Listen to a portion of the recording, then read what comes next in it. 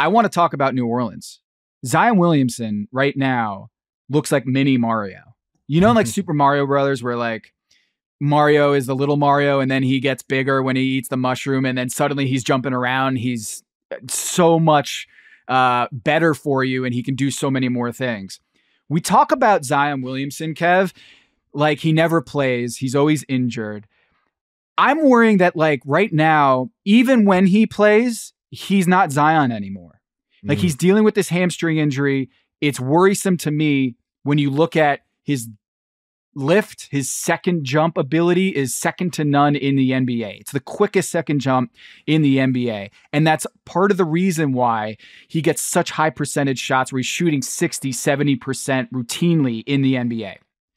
Zion Williamson is getting blocked more than any other player in the NBA. He's leading the league in block shots in a bad way. Okay. And it's not particularly close when you look at the number of and ones that he's had. You want to see like a one to one relationship with when you're getting blocked or contact, you're finishing through strong. Zion Williamson has been pretty good in that category over his career. But this season, it's been flipped and very bad, trending in the wrong direction. Um, you look at the number of dunks that he's had this season.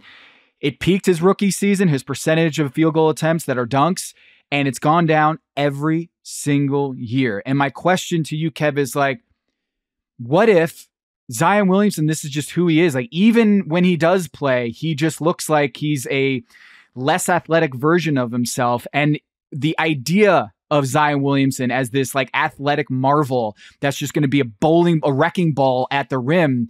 What happens when, if he's 24 years old, he's actually looking 34 years old? it means it's time to pull the plug if you're the Pelicans on what you're building. It, it Hmm. means that you, it's time to reset in some way, shape, or form. And it, it means that Zion's value league wide is going to be lower than it already is.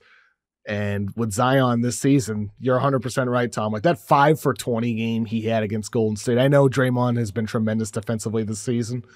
Um, so credit to the Warriors as well. But that five for 20 game Zion had against Golden State, I think it was last week, worrisome. He just doesn't look like he has the same pop at all. He's shooting career low percentage at the rim. Like you said, he's leading the league in blocks against.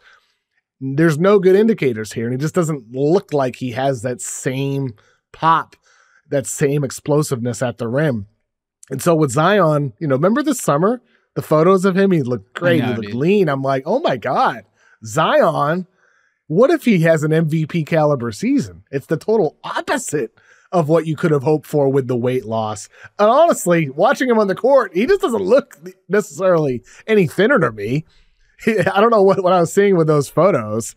I, I, just, I really Keep your third eye open, Kev. Maybe there's some Photoshop we're not aware of. That there's some sort of like uh, misinformation campaign about uh, doctored photos of Zion Williamson. I don't know, Kev. I, I feel the same way. Like Zion is like a summer MVP. Uh, ben Simmons and him like they fight over who's the summer MVP. Because I, I every year I'm like, ooh, talking myself into into Zion Williamson having a breakout season, and then kind of looks the same. it's scary, you know, if you're a Pelicans fan, it's scary because, you know, you're three and six right now on the year. Obviously, you have guys out injured. You missed time with Trey Murphy. Now Hawkins dealing with stuff, Herb Jones, CJ McCollum, De- DeJounte Murray.